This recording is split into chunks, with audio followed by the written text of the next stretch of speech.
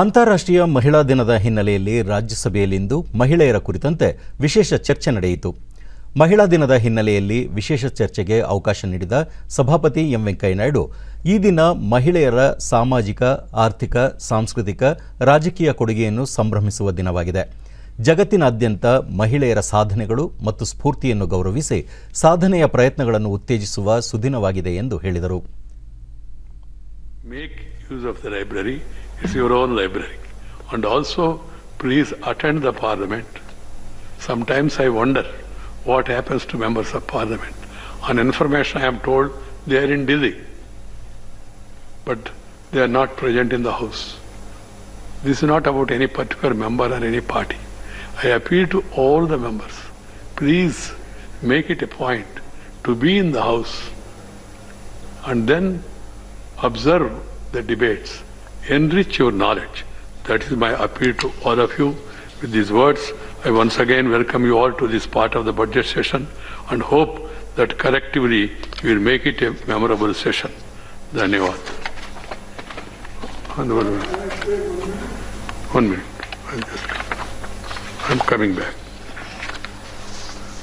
Honorable members, today, March 8th is the International Women's Day, a day to celebrate the social, economic, cultural, and political contribution and achievements of women across the globe and an honor माननीय सभापति जी मैं आपका धन्यवाद करती हूँ कि आज विशेष रूप से आप महिलाओं को ನಾಮಕರಣ ಸಂರಕ್ಷಣೆ- ಸದಸ್ಯೆ ಡಾಕ್ಟರ್ ಸೋನಾಲ್ ಮಾನ್ಸಿಂಗ್ ಮಹಿಳೆಯರು ಕಠಿಣ ಪರಿಶ್ರಮದಿಂದ ಸೇವೆ ಸಲ್ಲಿಸುತ್ತಿದ್ದು ಎಲ್ಲ ಮಹಿಳೆಯರು ಅಭಿನಂದನೆಗೆ ಅರ್ಹರು ಮಹಿಳಾ ದಿನದಂತೆ ಅಂತಾರಾಷ್ಟ್ರೀಯ ಪುರುಷರ ದಿನವನ್ನು ಆಚರಿಸುವಂತಾಗಬೇಕೆಂದು ಸಲಹೆ ನೀಡಿದರು मैं बस अ, कुछ अ, सबसे पहले सर अभी बात हुई कल्पना चावला की तो मुझे अभी मांडविया जी ने बताया है कि कल एक बहुत अ, अ, अ, अद्भुत घटना घटी है कि पहली बार एक टैंकर शिप पूरा पूरा क्रू महिलाओं का कैप्टन से लेके सभी वो बंबई से वाडीनार गया है और दुनिया में ये पहली घटना है दुनिया में ये पहली घटना है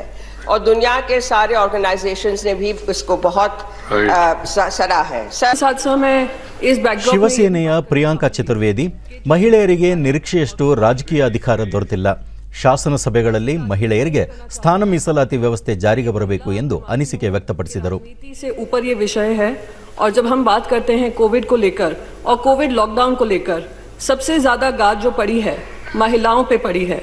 उनकी मेंटल हेल्थ को लेकर हो, उनकी समस्याएँ को लेकर हो डोमेस्टिक वर्कलोड बढ़ा हो डोमेस्टिक वायलेंस बढ़ा हो चाइल्ड मैरिजेस बढ़ी हो, महिलाओं को जो पढ़ाई करती थी, उससे उनको वंचित रखा गया हो। ये सारी मुद्दे देश के सामने आए हैं। मैं चाहूँगी कि हम देश में और पार्लियामेंट के Right. माध्यम से इस पर चर्चा करें Priyanka. has been on the forefront in ಇನ್ನು terms of ಹಲವು service. ಮಹಿಳಾ ಸದಸ್ಯರು ನಾರಿ ಶಕ್ತಿ ಕುರಿತು ತಮ್ಮ ಅಭಿಪ್ರಾಯಗಳನ್ನು ಮಂಡಿಸಿದರು And we can think of the Red Cross. Speak about leprosy, we think about Mother Teresa and the missionaries.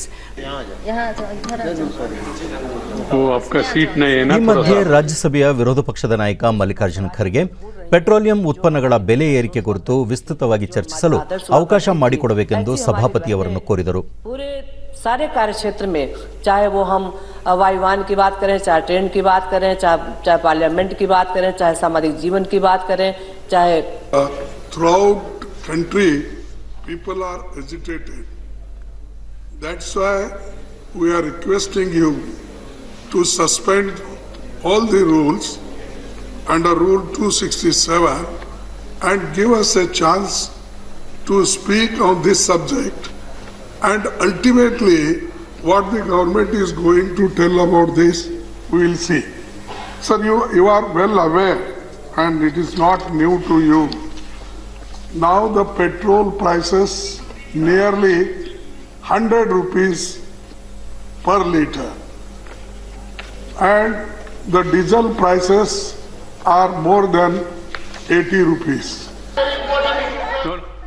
ಈ ಸಂದರ್ಭದಲ್ಲಿ ಸಭಾಪತಿ ಎಂ ವೆಂಕಯ್ಯನಾಯ್ಡು ಪೆಟ್ರೋಲಿಯಂ ಉತ್ಪನ್ನಗಳ ಬೆಲೆ ಏರಿಕೆಯ ಕುರಿತು ವಿಸ್ತೃತವಾಗಿ ಚರ್ಚಿಸಲು ಅವಕಾಶ ಮಾಡಿಕೊಡಲಾಗುವುದು ಅದಕ್ಕೂ ಮುನ್ನ ಕಲಾಪದ ಪಟ್ಟಿಯಲ್ಲಿರುವ ವಿಷಯಗಳಿಗೆ ಆದ್ಯತೆ ನೀಡಿ ಚರ್ಚಿಸೋಣ ಎಂದು ತಿಳಿಸಿದಾಗ ಸದನದಲ್ಲಿ ಕೆಲಕಾಲ ಗದ್ದಲದ ವಾತಾವರಣ ಸೃಷ್ಟಿಯಾಯಿತು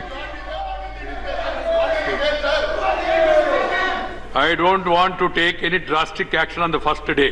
The House is adjourned to meet at uh, 11 o'clock.